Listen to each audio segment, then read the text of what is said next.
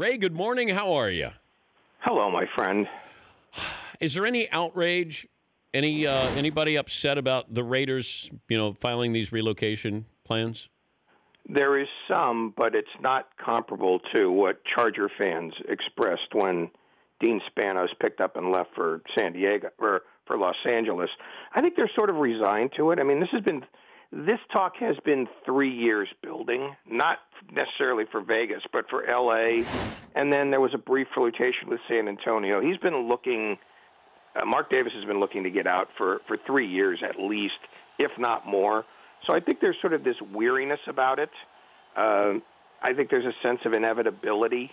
I think they had some hope when uh, Los Angeles, uh, the Los Angeles vote went against him a year ago.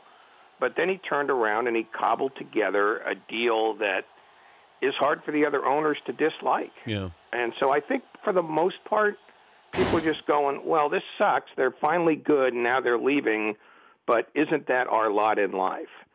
How does it not happen? It doesn't happen if we have underestimated uh, the owner's resistance to Mark Davis's charms, but I think that has worn down as it's become increasingly clear that not only did he do a deal they didn't think he could get done in Vegas, but that the the Oakland response has been so you know not to the league's liking.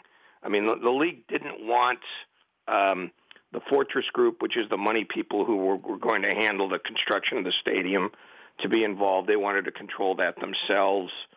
And I think they're sort of looking at this now as though they really don't have an alternative but to move because we don't like the Oakland deal.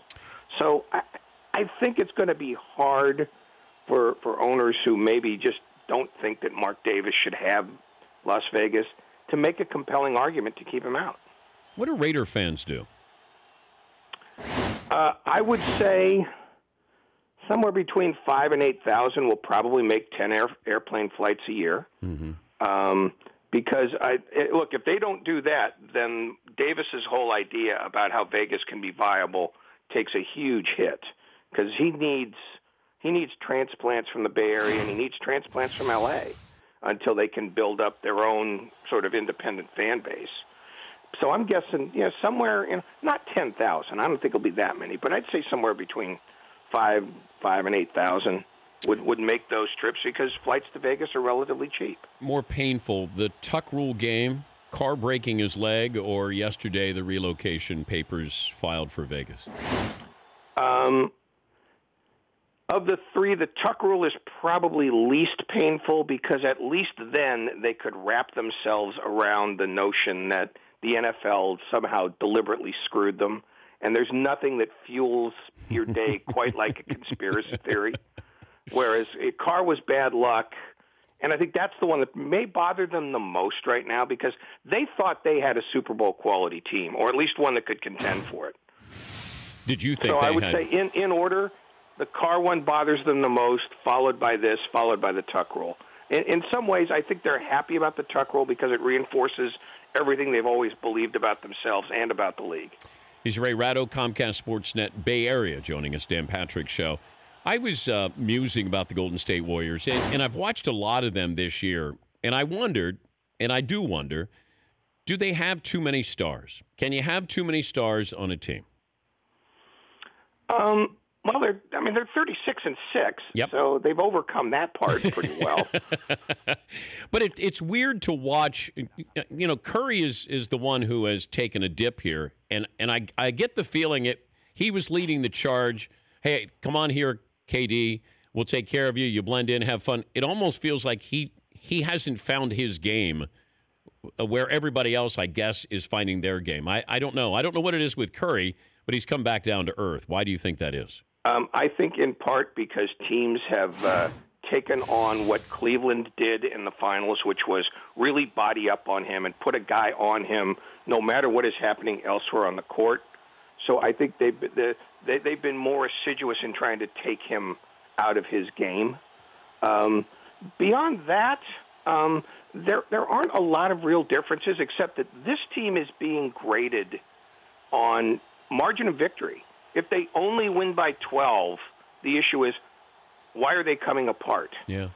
You know, I mean, eh, like I say, I mean, when and when they do lose, they get blown out. I mean, they they they very rarely lose a close game, but for the most part, we're talking about parsing six losses and a number of games in which they didn't win by 20.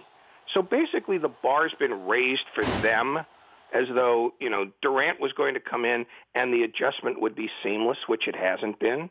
I mean, you know, they weren't going to go to 135 points a game just because they included him on a team that wasn't going to have to make any other changes.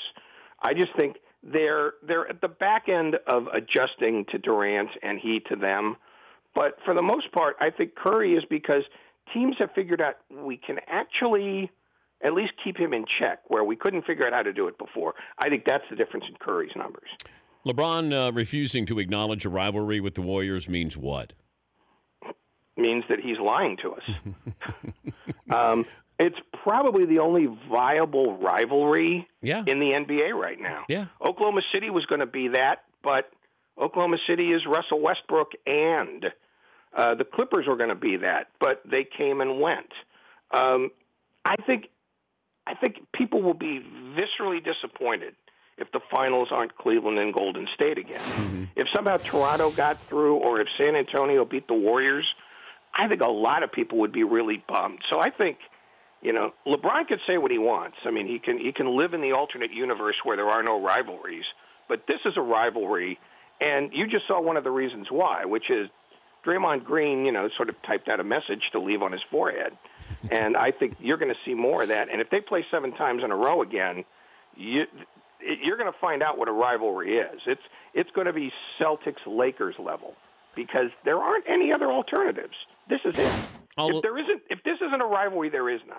I'll leave you with this. If I'm a Niner fan, give me a pep talk in five years they won't have moved.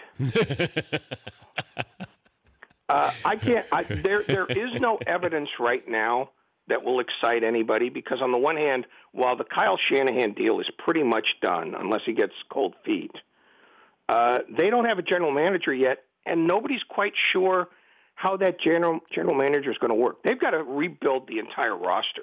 I mean, they are where the Raiders were four years ago, Man. and it took it took the Raiders four years to dig out.